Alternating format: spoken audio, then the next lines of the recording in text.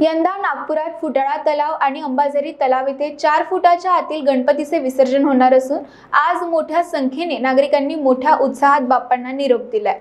टाळा तलाव आणि अंबाझरी तलाव या ठिकाणांवर यावेळी मोठा पोलीस बंदोबस्त देखील बघायला मिळालाय. तर पोलीस मदत केंद्र देखील उभारण्यात आले होते. नागपुरात ठिकठिकाणी बाप्पांना विसर्जित करण्याकरिता बंदोबस्त करण्यात आला होता. यंदा फुटाळा तलाव आणि अंबाझरी तलाव येथे चार फुटाच्या आतील गणपतीचे विसर्जन होणार असून त्यावरील सर्व मोठे गणपती कोराडी येथे विसर्जित होणार आहे. घरगुती गणपतींना विसर्जित करण्याकरिता फुटाळा तलाव तसेच अंबाझरी येथे नागरिकांची गर्दी बघायला मिळाली. अनेक मूर्त्यांना घेऊन भक्तांनी उत्साहात बाप्पांना निरोप दिलाय. यावेळी पोलिसांचा देखील मोठा बंदोबस्त बघायला मिळाला.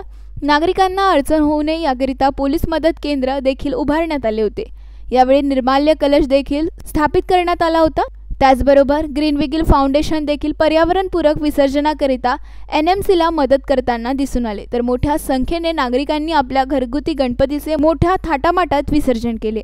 हे बंदोबस्त सर्व प्रकारचे चोख बंदोबस्त लागलेला आहे. फक्त फुटाळ्या तलावाला यावेळेस चार फुटांखाली जे मूर्ती आहेत त्यांचेच विसर्जन होणार आहे आणि जे घरगुती गणपती बसतात ते मोठ्या संख्येने इथे येणार आहेत. चार फुटाच्या वरती जे मूर्ती आहेत ते कोराडी तलावात जाणार आहेत. कर्मचारी भरपूर आमच्या ह्या बंदोबस्तात कर्मचारी भरपूर आहे जवळपास मला वाटतं चारशे ते पाचशे अधिकारी कर्मचारी वेगवेगळ्या पॉईंटवर रोड बंदोबस्त आहे तलावाचा बंदोबस्त आहे.